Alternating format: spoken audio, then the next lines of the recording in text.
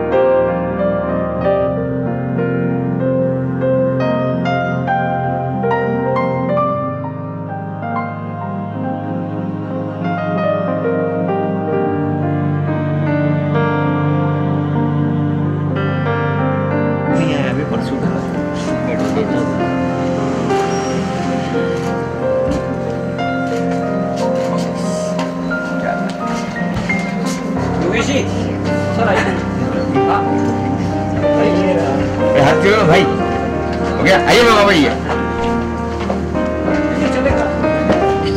शुरू लेंगे?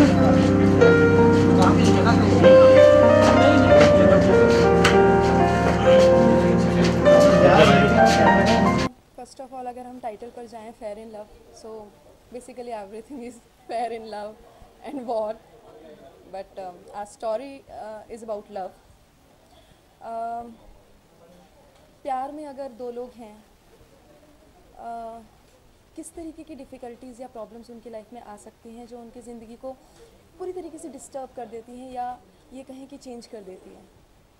इसके ऊपर ही कहानी है एक्चुअली दो कपल्स हैं। बहुत प्यार करते हैं एक दूसरे को। चारों दोस्त हैं। बहुत अच्छे दोस्त हैं। एक एक ऐसी चीज़ आती है लाइफ में कि जिसकी वजह से पूरी लाइफ डिस्टर्ब हो जाती है। हर एक की लाइफ में प्रॉब्लम्स आती हैं। लोग अपने अपने हिसाब से उनको सॉल्व कर लेते हैं। लेकिन कुछ चीज़ें ऐसी होती हैं जिनको हम चाहकर भी सॉल्व नहीं कर पाते तो इस कहानी में यही हुआ है कि अ, मैंने अल्पना का किरदार इसमें निभाया है। She is the central character तो रेप हो जाता है अल्पना का।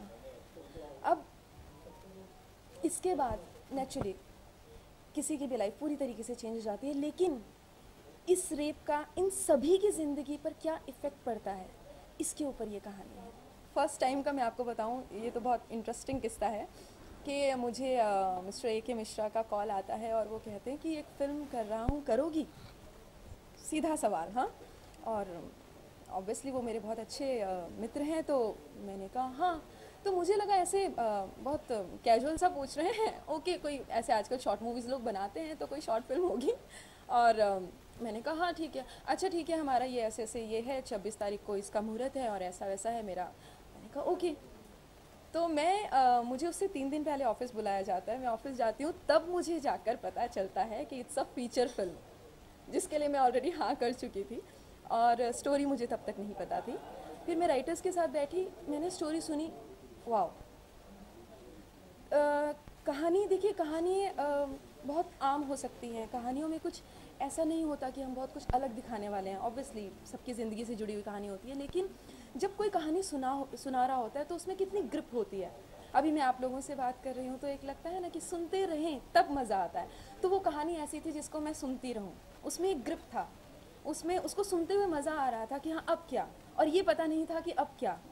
सो इस तरीके की कहानी थी और मेरे लिए मुझे तो ऐसा लगा कि वाह मतलब मैंने ये किस चीज़ को हाँ किया। सेट का माहौल बहुत अच्छा था। आई थिंक मुझे uh, काफ़ी टाइम हो गया इंडस्ट्री में और uh, मेरी ज़िंदगी का ये पहला ऐसा सेट होगा कि जब हम हम लोगों का जनरली शूटिंग से पैकअप होता है तो हम लोग बड़े खुश होते हैं ओके बाय लेकिन यहाँ पर ऐसा होता था कि जब भी पैकअप होता तो मैं तो कभी खुश नहीं होती थी। जब लास्ट पैकअप हुआ तब भी उससे पहले भी रोज़ जैसे ही पैकअप होता था खुशी नहीं होती थी क्योंकि इतना अच्छा टीम हम लोगों का बन गया था पूरी टीम सभी crew members director DOP sir हमारे राइटर हम लोगों का इतना अच्छा ग्रुप बन गया था। हम लोग चारों एक्टर्स सभी एक्टर्स उसके अलावा भी जो और आर्टिस्ट थे बहुत अच्छा और बहुत अच्छा लगा सबके साथ काम करके। हम सर आपसे एक ही बात बोले नई स्टोरी बहुत अच्छी कहानी है। जो एज़ यूजल हमेशा हिंदुस्तान की और हर दुनिया में औरत यू नो बेचारी सफ़र करती है हर चीज़ से। And that's a story about और एक अच्छी कहानी, एक अच्छी जर्नी है, जो मिश्रा जी ने हमें उनकी नॉवल थी, उस पर सी based it's movie on based on that it's really good journey of a woman अच्छी कहानी आप देखिए, और आप देखोगे तो ही आपको पता चलेगा कहानी क्या है। मेरा किरदार है, मैं जो लड़की है हीरोइन कल्पना जी, जो कैरेक्टर कर रही है वो तो उसके हम हस्बैंड बने। एंड प्रॉब्लम हमें ही होता है बट लेट्स सी क्या होता है मूवी स्टोरी है कहानी है। अच्छी बात है। And I am playing a character call जो हस्बैंड का रोल कर रहे हैं। ये कहानी हमने आपको बताया है आप देखोगे तो ही अगर हम आपको बता देंगे कि ये कहानी आ, कैसी है क्या स्टोरी है तो आपको देखने में मज़ा नहीं आएगा। सो हम चाहेंगे आप देखो फिर आप देखिए जज कीजिए। कहानी एज़ यूजल जो होती है हमेशा प्रॉब्लम्स होते हैं क्रिएट्स होते हैं। उसके ऊपर बेस्ड है। मतलब या दोनों की बात हो रही है। या दोनों भी रेप भी है एंड पर वो कुछ अच्छा करने जाते हैं इंसान गलत हो जाता है गलत करने जाते हैं कुछ अच्छा हो जाता है ऐसी है कहानी। तो सेट पे कैसे वो ब्यूटीफुल माशाल्लाह मिश्रा जी इतने अच्छे हैं Ashok ji. Lovely person beautiful heart और ऐसा लगा नहीं हमने शूटिंग की है। हम मस्ती करते थे धमाल करते थे एज़ यूजल सबके साथ ऐसा कोई किसी का किसी का था ही नहीं कोई हीरो है विलन है all were very nice it like a family बहुत मज़ा आया काम okay so fair in love में um, मेरे किरदार में it's I am one of the best friend of the centre character who get who gets raped apparently so but I am the person जो uh, रूढ़ीवादी नहीं है Lucknow based film है और uh, वहाँ की जो सोच है और वहाँ की जो कल्चर है, वो बहुत स्ट्रिक्ट है। बट मेरी सोच वैसी नहीं है। I am an air hostess तो मैंने कह सकते हैं दुनिया देखी हुई है। और मैं ओपन माइंडेड चीज़ों को सपोर्ट करती हूँ। तो it's it's about a friendship in my character कि कैसे हम लोग जो ये ट्रेजिडी हुई है हमारी फ्रेंड की लाइफ में, कैसे हम लोग उसको यू नो मैनेज करते हैं। और कैसे हमें पता चलता है और पता चलने के बाद हम क्या करते हैं और उसके बाद फिर कल्पिट कौन है। उसकी लाइफ अकेले नहीं है, हमसे जुड़ी हुई है। तो काफ़ी सारी चीज़ें ऐसी हैं जो मैं बता नहीं सकती of course but it's tragedy and suspense and a message social message सपना तो मेरा एक्टिंग का बचपन से ही था। मैंने थिएटर से स्टार्ट किया और रीजनल uh, uh, काम करते हुए मैं यहाँ तक पहुँची हूँ। मैं मिश्रा जी को uh, आज चार सालों से जानती हूँ।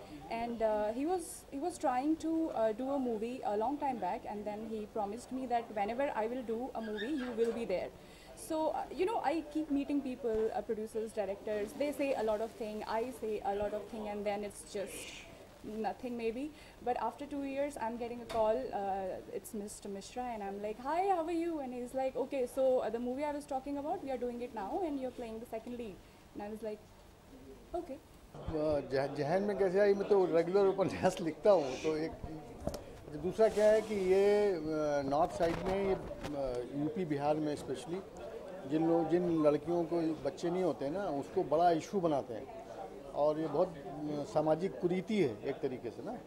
और जबकि गलती उनकी नहीं होती है तो वो मैंने महसूस किया था तो उसके बेस पे नावल लिखा था फिर तो उसको उसी पे ये पिक्चर बनाया। इसी तो लिखते आए हो तो इसी उपन्यास पे फ़िल्म में कोई खास नहीं नहीं मेरे मेरे जो मैंने जो अभी चार उपन्यास लिखे हैं तो इस पर फ़िल्म बन गई दूसरे पे अभी अक्टूबर से शुरू हो रही है। और तीसरे पे भी तो हम सभी सभी पे एक एक करके फ़िल्म बनाने वाले हैं। बिकॉज़ वो सब सोशल इश्यूज़ पे हैं और जो प्रैक्टिकली में लाइफ में हो रहा है तो उसको लेके कहानी को वीव किया गया। आर्टिस्ट की बात तो इनको चुना गया आर्टिस्टों को तो हम लोगों ने एडवर्टाइज़ किया था और फिर स्क्रीन टेस्ट लिया था। और ये जो आर्टिस्ट हैं सब बहुत टैलेंटेड हैं। इन लोगों ने प्लेज में बहुत काम किया है। और फ़िल्मों में भी किया है लेकिन मेन लीड रोल नहीं था तो हमने वहाँ से भी सिलेक्शन देखा। तो पहली फ़िल्म डायरेक्शन कर रहे हैं हाँ कितनी मुश्किल आई कितनी आसान हुआ कुछ? नहीं हम लोग एड फ़िल्म बनाते रहते थे पहले। एड फ़िल्में मैंने बहुत सी एड फ़िल्में बनाई हैं। और उसके बाद में ये एक्सपेरिमेंट किया है पहली बार फ़िल्म का। तो लता जी ने गाना गाया है हाँ लता जी ने एक हम लोगों ने मैं पहले एक पिक्चर डायरेक्ट कर रहा था बोस्की के नाम से। तो उसमें उस समय लता जी को साइन किया था मैंने ये गाना लिखा था और हेमंत भोसले आशा जी के जो बेटे हैं ना उन्होंने म्यूज़िक दिया था। पर वो फ़िल्म पूरी कंप्लीट नहीं हो पाई। उसमें धर्म जी थे रीना रॉय और सारिका। बहुत पहले की बात है। तो उस समय धर्म जी के कुछ अफेयर्स शुरू हो गए थे तो वो पिक्चर लटक गई। तो वो गाना मेरे पास पड़ा था तो मैंने उसमें यूज़ किया। इसको और कितने गाने हैं इसके अलावा? छः गाने हैं इसमें।